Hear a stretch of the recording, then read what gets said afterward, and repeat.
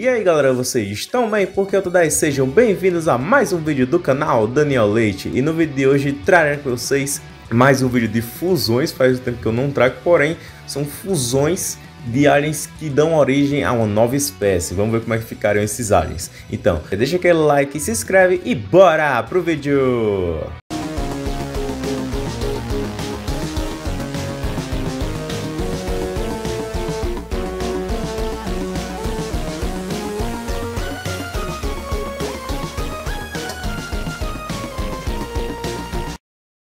Então, galera, lembrando que essas fusões foram criadas pelo artista XX Alter 22 Ultimatics X, né, que o DeviantArt dele vai estar aí na descrição para vocês verem mais trabalhos do cara.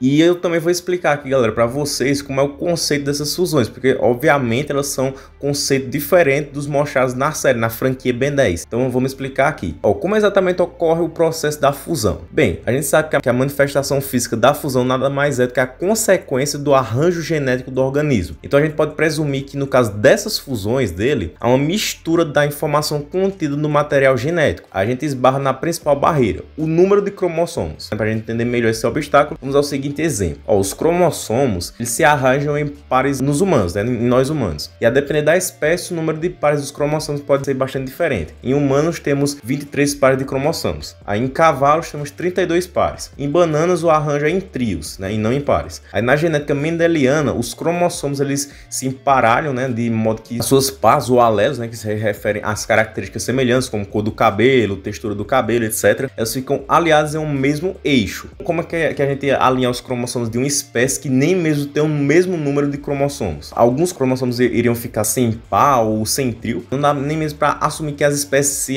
se arranjariam em trios ou pares, apenas que há algum agrupamento, né? Afinal, a gente está falando sempre de um material genético similar ao DNA, que é um tipo bem específico de molécula. Mas como a evolução em cada planeta ocorre de maneira completamente diferente, a gente não sabe se o alinhamento cromossômico seria compatível de maneira direta entre duas espécies. Provavelmente não seria, já que dentro do planeta Terra, essa compatibilidade entre espécies distantes é rara. E agora? Daí entra o papel do Biominitrix. Porções de informações genéticas codificam aminoácidos, códons para ser mais específico. Os códons são agrupamentos de três ácidos nucleicos em RNA e os aminoácidos traduzidos a partir de códons se agrupam em proteínas. O Biominitrix ele precisaria de alguma inteligência artificial que escaneasse o material genético, coisa que a gente sabe que o Omnitrix tem, então o Biominitrix também teria. Então a partir daí, ele iria concluir qual proteína estaria sendo codificada naquele trecho de material genético. Aí, a partir daí, ele faria engenharia reversa, ou seja, pegaria essa informação que ele tem e recodificaria em DNA. Ele sabe que proteínas precisam ser codificadas no material de cada espécie que vai fazer a fusão.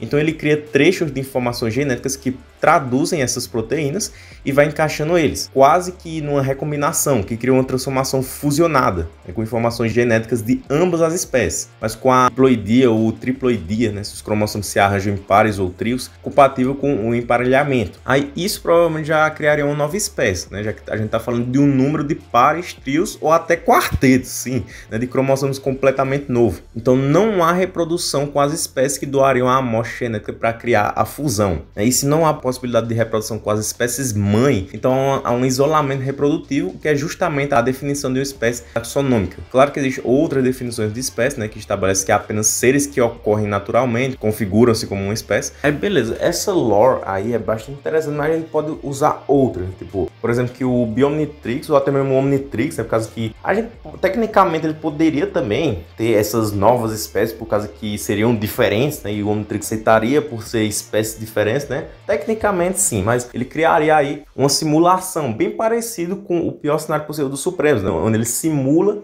um pior cenário possível para a espécie, no qual força ele a evoluir nesse pior cenário, entendeu? No caso das fusões, seria a mesma forma, ele forçaria os aliens a ter uma compatibilidade. Tipo, ele não criaria as fusões ali na hora, não, eles iam passar por uma simulação ali, provavelmente ele criaria um planeta artificial combinando o planeta das duas espécies, por exemplo. Pegava aqui a fusão do Blitzwolf com o Espantoid, beleza. Colocaria aí as duas espécies num planeta artificial que seria a mistura do planeta dos dois. Aí forçaria eles a ter uma compatibilidade compatibilidade genética, então eles poderiam se cruzar, ia passar o tempo, o tempo. Daí os descendentes das duas espécies, no começo, eles seriam desse jeito, entendeu? Seriam mais parecidos aí como as fusões que a gente já está mais acostumado. Só que depois de mais tempo ainda, né, por causa da evolução, da adaptação, da seleção natural, para eles se adaptarem ali ao ambiente artificial que o Biometrix teria colocado eles, eles iam se tornar uma nova espécie que seria esse bichão aqui. Entenderam, galera? Então é essa a lore que a gente vai utilizar nessa série de vídeos aqui, onde a gente vai mostrar fusões que formariam uma nova espécie. Você, Damino, que está assistindo esse vídeo aqui, você vai poder ter esses aliens aqui se você for da área VIP, beleza? Vamos lá, a gente já começou falando dele, vamos falar dele mesmo. Que o nome dele é Traplock, por causa que nessas fusões aqui, eles não têm nomes fusionados, são nomes novos, que eu acho que nessa lore aqui é bem bacana. E que o artista ele se baseou aí em FNAF para fazer essa fusão. Aí você se pergunta, ah, se ele é uma fusão da espécie do espantóide com o loboan, por que, é que ele parece com o urso? É porque na evolução, na simulação da fusão, os loboans que se parecem com ursos, eles teriam mais aptidão física, entendeu? teriam mais vantagem evolutivamente falando, entendeu? Então eles evoluíram mais para seus descendentes, né? Para o resultado final que seria essa fusão seriam mais parecidos com o urso. Aí vocês perguntam, gente, como assim Loboan parecido com o urso? Ó, vemos aí o Crujo, ele parece mais com urso do que com lobo, né? Por causa que ele é baseado em um weird bear. Eu acho que é mais ou menos assim. Mas é tipo como se fosse um lobisomem, só que em vez de ser um lobo, é um urso, entendeu? É um homem urso. Aí na série mostrou o cruz, mas pode ter mais loboans que são parecidos com urso. No caso, seriam ursoans. Então, o resultado é esse bichão aí que a gente pode imaginar que ele teria aí seus poderes assustadores, né?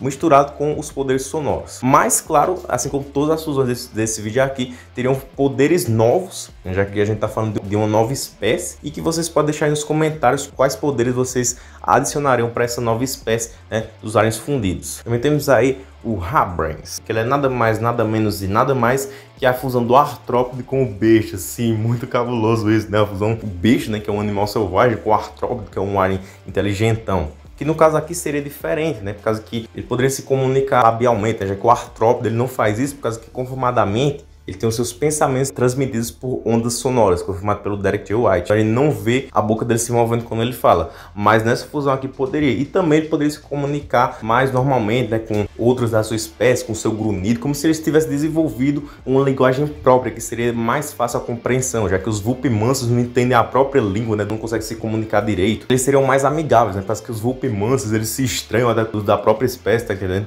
Aí você pode perguntar, oxe, Daniel, aí ele seria mais fraco aí por causa que ele tá com o cérebro exposto. Não, galera, o que a gente tem que pensar aqui, ele estaria aí na evolução no planeta artificial, que seria a mistura de encefalonos 4 com Vulpin, né? Que são dois poderes perigosos, né? Que o Encefalonus 4 tem as tempestades lá e Vulpix tem a toxicidade, entendeu? As duas se misturariam ao ponto de que ele evoluiria nesse cenário e ia fazer com que o cérebro acostumasse com aquilo, entendeu? Então ele seria mais fortalecido, seria fortificado, entendeu? Então ele ficaria exposto ali só para brincar com o inimigo, pensar, ah, ele tá com o cérebro exposto, ele deve ser fraco, mas não, o cérebro dele deve aguentar muito, muita porrada aí e tudo mais, entendeu? Então seria só uma maneira aí dele enganar o inimigo. E o artista para fazer ele, ele se baseou em Lickers de Resident Evil. Também temos aí o Luteador, que ele é a fusão do Astrodátilo com o Frankenstein, que seria bastante interessante esse daqui, porque seria um planeta artificial, que seria a mistura de Terra Dino, que tem várias espécies, né, além dos pitobossaurianos, que tem os vaxassaurianos e os calcifex ultimarossaria, né, que é, que é, a espécie do tiranópolis, e Ianotrans, que tem várias espécies lá também, além dos transilianos, né, também tem loboans, septinfans, ectonuritas, enfim, mais claro, né, as espécies que evoluiriam nesse planeta artificial, nessa simulação, seriam apenas esses dois específicos, né, os, os e os transilianos, os outros não, né, porque eles não fariam parte da evolução, apenas estariam na simulação, porque eles também habitam nesses planetas. E eu achei bem interessante as referências, que ele é baseado em várias coisas, né? Ele é baseado primeiramente no Dracozolt de Pokémon, ele também é baseado em próprios né, pterodáctilos e também ele tem um certo baseamento aí, né, numas línguas aí de energia que isso aí é, é resultado da fusão que o Thomas Perkins fez do glutão com o Frankenstein, né, no clássico. Então ele é baseado em tudo isso aí, é bastante interessante. Aí também temos aí o Tempus Mori, que é um dos meus preferidos, eu acho muito legal que ele tem uma, carinha ali, né, porque o Contratempo tem esse negócio, né, ele tem uma carinha Aí o Contratempo de 11 dias ele tem uma carinha fofinha e esse aí tem uma carinha que é meio. É tipo, é tipo assim, um sorriso, só que uma cara meio macabra, entendeu? Por causa do fantasmático. É um negócio bem assim, entendeu? Mas eu achei bem legal a aparência dele. Lembrando que ele evoluiria, a simulação seria em Anurfeitos, né? No planeta que seria a mistura de Anurfeitos com o planeta dos Cronossapianos.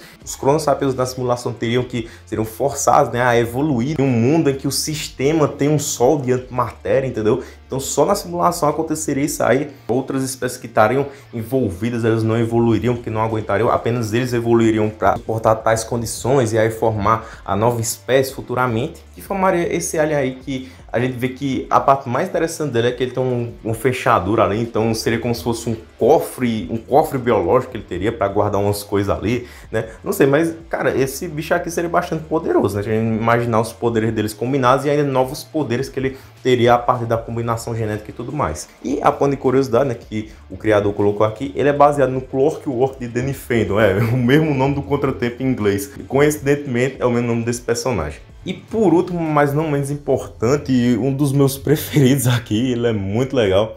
Gostei demais da aparência dele. É o Fish Stellation, né? Que é nada mais, nada menos e nada mais que a fusão do Alcatruda com o Alien X. Sim, temos aí o Alien mais poderoso. Raça absoluta, além da consciência.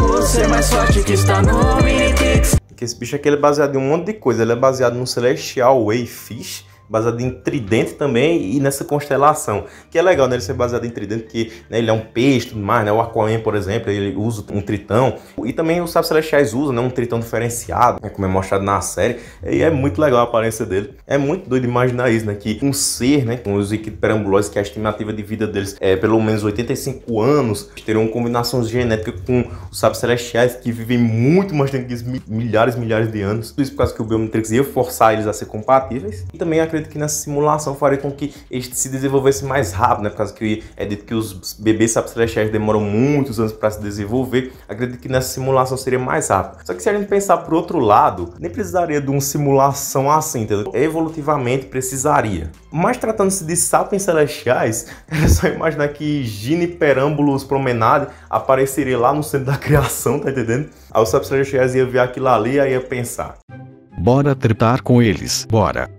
Só porque sim, por motivos do além, eles iam fazer com que eles fossem compatíveis, aí ia formar aí o Fish Stellation, entendeu? Já que se tratando deles, pode tudo. Então esse é um bicho muito doido, né? Vou mostrar aqui para vocês a cena dele indo lutar com a fusão do Alcatraz com o Iden. É que eu não vou falar dele nesse vídeo aqui, vou deixar isso para parte 2. Não subestime ele, viu galera? Porque como se trata de uma nova espécie, pode ser que a fusão do Iden com o Alcatraz seja um alienígena muito da hora, tá ligado? Nunca se sabe. Mas tá muito massa aí. Ele não tá com ele, eu consigo imaginar que os poderes dele seriam que ele poderia manipular o conceito de tudo que é escorregadio. Tipo, se, se tiver alguma coisa escorregadia, ele poderia transformar no que ele quiser. Se, por exemplo, você que tá suado, né? Uma pessoa suada parece ser escorregadia, pronto. Aí ele poderia transformar você numa sardinha, simplesmente, pronto.